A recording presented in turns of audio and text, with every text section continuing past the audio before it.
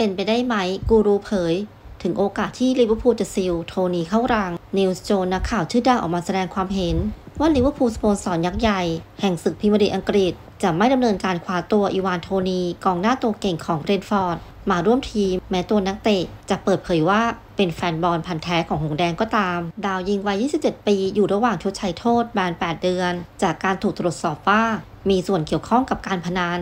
โดยเมื่อเร็วนี้โทนี่ได้สัมภาษณ์ว่าเป็นกองเชียร์ลิเวอร์พูลมาตั้งแต่เด็กแล้ว และมีความฝันจะเล่นให้กับหงแดงสักครั้ง อย่างไรก็ตามโจนส์ระบุว่าแทบเป็นไปไม่ได้เลย ที่ลิเวอร์พูลจะเซ็นสัญญากับโทนี่โดยกล่าวว่า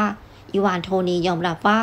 เป็นแฟนบอลลิเวอร์พูลในการให้สัมภาษณ์ช่วงสัปดาห์นี้ และยังพูดถึงความชื่นชมที่มีต่ออาร์เซนอลด้วย มันง่ายมากที่จะจินตนาการว่าเขาย้ายมาเล่นในแอนฟิลด์โดยส่วนตัวแล้ว ผมก็เป็นแฟนตัวยงของเขา ผมชอบสไตล์และบุคลิกของเขาในสนาม และคิดว่าเขาได้พัฒนาจนกลายเป็นหนึ่ง ในกองหน้าที่ดีที่สุดในพรีเมียร์ลีก สิ่งที่เขาทำตลอด5ฤดูกาลที่ผ่านมา เริ่มจากปีเตอร์โบโรจนมาถึงเบรนฟอร์ดบ่งบอกถึงพรสวรรค์อันมหาศาล และตัวตนที่ยอดเยี่ยม แต่เขาจะอายุ 28 ปี ในเดือนมีนาคมหน้า และเมื่อพิจารณาตัวเลือกกองหน้าในปัจจุบันของลิเวอร์พูล นอกเหนือจากโมฮัมเหม็ดซาลา ที่เป็นตัวจริงอัตโนมัติ ผมไม่เห็นว่าพวกเขาให้ความสนใจโทนี โดยไม่คำนึงถึงปัญหานอกสนามของเขา ขอขอบคุณภาพและแหล่งข้อมูลข่าว สนุกดอทคอมค่ะ ฝากกดไลค์ กดแชร์ กด subscribe กดกระดิ่งกันด้วยนะคะ